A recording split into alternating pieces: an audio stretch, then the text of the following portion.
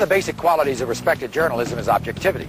Now, as you may have heard in several recent news stories, one of Michael Jackson's prime complaints about the reporting featured in Martin Bashir's documentary and subsequent interviews with the press was his lack of objectivity. As we've already seen, some of Mr. Bashir's comments that made the air appear to be quite different than opinions he expressed in Jackson's behind-the-scenes footage. About Michael's ranch, Mr. Bashir's on-air comment was, one of the most disturbing things is the fact that a lot of disadvantaged children go to Neverland. It's a dangerous place for a vulnerable child to be. But what he said behind the scenes was this. I was here yesterday and I saw it. And it's nothing short of a spiritually kind thing. This comment about Michael's method of raising children was included on Bashir's special. They are restricted. They are overly protected. I was angry at the way his children were made to suffer. But this was not. Your relationship with your children is spectacular. Um, and in fact, it, it almost makes me weep when I see you with them. Another of Jackson's complaints about the documentary is the non-inclusion of certain statements that he feels are pertinent to objective reporting. Like when Bashir devoted almost eight minutes to the abuse by Michael's father? You remember when you said to me that you just wanted to run away from your father? I hid. I used to hide. Just, but did not include this short and revealing comment. He hurt me when he was little, but he's a genius. The man is a genius. On Michael's taking his children to the zoo, Bashir says it was no kind of trip for two young children, and everyone could see it, but Jackson himself. But what you don't hear is Michael's response. I go to the zoo all the time. I go usually when they close it down. And they told us this would be closed down. And as far as probing for the truth about Michael's changing appearance, the subject of vitiligo was virtually ignored. And the severe burns and reconstructive surgery were never mentioned at all.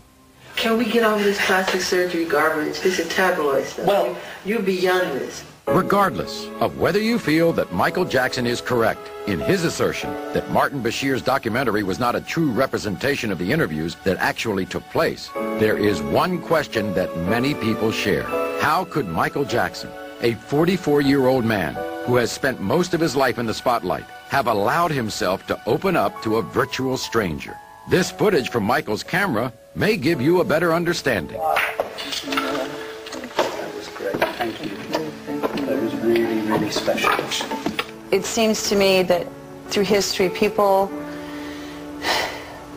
they really want to make someone big and they want to be, oh, this person is so talented and we've got to make them godlike and they have to be perfect. And then as soon as they're there, they get more joy in tearing someone down. Eventually, when you talk and you say it like it really is, you're, you just light up. That's what. That's what. It's about bringing out what you're about. The that whole special was it, it was just an attempt to tear him apart, and he trusted. He trusted uh, Martin Bashir. He and um, it just they took this thing back to the studio and they took a lot of things out, and they and the way this thing was narrated, it, it, it was just not fair.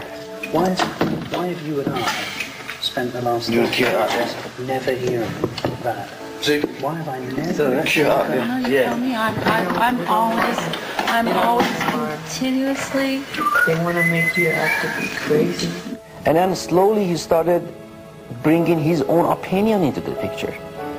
As a reporter, as a news, I like to see the truth, then I'll decide what my take would be on it. Aren't I being honest, Turtle? I'm being, you Oh know my me long enough. yeah. I'm being completely No, no, it's not. It's not just you though. You can see that.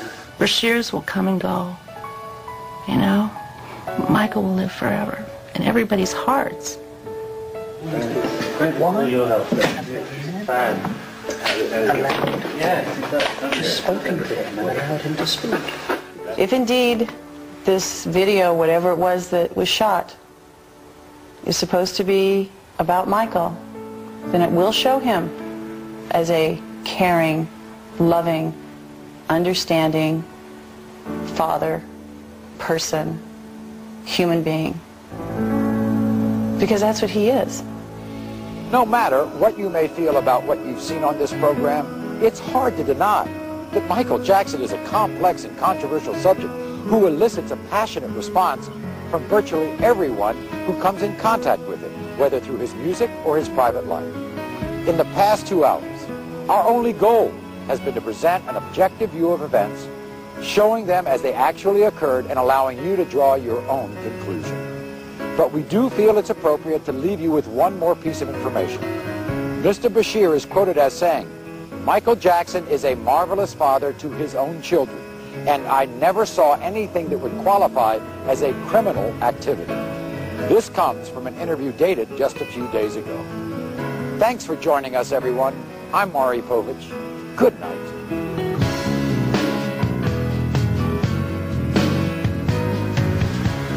Do you sometimes despair of human nature? Yes.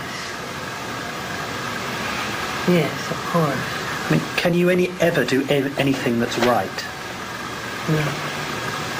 No. No, no, no.